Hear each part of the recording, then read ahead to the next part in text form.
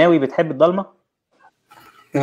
طيب يعني لو كانت يا أستاذ حسام لو كان المقصود بالنور إن إحنا بكرة وبعده نتفرج على مسلسل في آه، في هذا النوع من ال- التمثيل لحقوق بص أنا عايز أنا عايز أقول لك طيب، إنك أنت already بتتفرج على أيوة. مسلسل في هذا النوع يعني okay طيب يعني خلينا بنبقى بنبقى شديد التحفظ جدا وبنبقى يعني آه آه بن بيبقى ودنا كده إن إحنا يعني التلفزيون ده نخفيه خالص. لو كان المقصود بالنور هو الطريقة دي وإن تبقى الحاجة في الشارع وإنه تبقى تبقى الأمور دي كده آه آه يعني آه يعني عايز أقول لك كده على الملأ.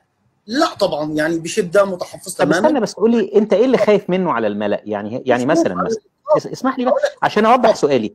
يعني يعني مثلا فكرة إنه يبقى معروف إنه ابانوب مثلي إنه سارة مثلية ده في حد ذاته مزعج؟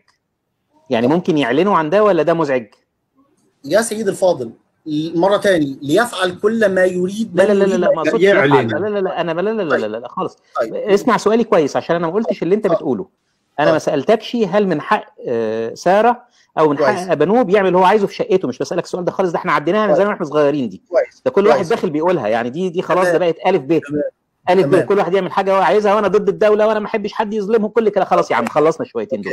أنا بسألك سؤال واحد. هل هل أنا في مشكلة بالنسبة لك لما يكون ابانوب ماشي مع صديقه في الشارع وبعدين يقابلك ويقول لك صباح الخير و... وأنت تبقى عارف إن ده صديق ابانوب أو إنك أنت تشوف سارة وهي ماشية في الشارع مع صديقتها وبعدين ابنك يقول لك على فكرة دي صاحبة سارة. يا بابا دي دي طيب. حاجة مزعجة؟ ما عملوش حاجة هم؟ طيب أمد الخيط يا أستاذ حسام؟ لا ما تمدش طيب. بس قول لي دي كويسة ولا لا؟ تنفع دي ولا ما عليك. تنفعش؟ هرد عليك هرد عليك حضرتك. لنفترض إن في اثنين رجالة ماشيين مع بعض أو اثنين سيدات ماشيين مع بعض مفيش أي مشكلة على الإطلاق. أي فعل يتعدى هذا الأمر يدخل تحت المفروض يجرب قانونا بقى. زي ما بيجرب أي فعل خادش آه، آه، في لل على يعني لل- للحياء العام. آه لكن اثنين وأنا عارف وكل الناس عارفين هم أحرار.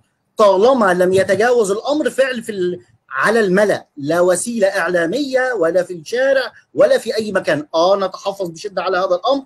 وإذا كانت هي دي الراجعيه فمرحبا بالراجعيه يا عم إحنا بس واحدة ما تعلنش الشهادة موافق لسه ما جداً معاك. دول وبتاع وأنا قلبي فداء يعني. فداء وطن إحنا يا عم جينا ناحيتك. يا عم بالراحة علينا. ماشي أنت هتعمل طيب. بطل عليا يا عم ناوي. أنا أستاذ حسام. ولا أنا اللي على الدور. بس هقول حاجة للاستاذ بكري بس أخيرا. طيب آه، أبشرك بالعكس يا أستاذ بكري يعني ما تتخيل حضرتك إنه في خلال 50 سنة ولا أقل من من كده هيصبح أمر طبيعي ويحصل تطبيع مع هذا النوع من الأفكار؟ يعني أبشرك بالعكس اللي هيحصل تمام؟ قد يكون حضرتك يعني لك قراءة للمستقبل؟ لا. أنا يعني أدعي كمان إنه زي ما انتهى الإتجار بالبشر وانتهى ملك اليمين وهينتهي في يوم من الأيام الزواج من مثنى وثلاثة ورباع هذا الأمر لأن كلها دي حاجات غير طبيعية. وشاذة عن الطبيعة الحاجات دي بتموت لوحدها. بتموت لوحدها. ولما ما تلاقيش بيئة صالحة كل اللي عنده إشكالية من هذا النوع يبقى يروح كده على جنب لوحده ويتفضل يعمل اللي هو عايزه لوحده. ما يطلعش بحياته الغير طبيعية على الملأ ويقرفنا بيها ويقرف أهالينا بيها.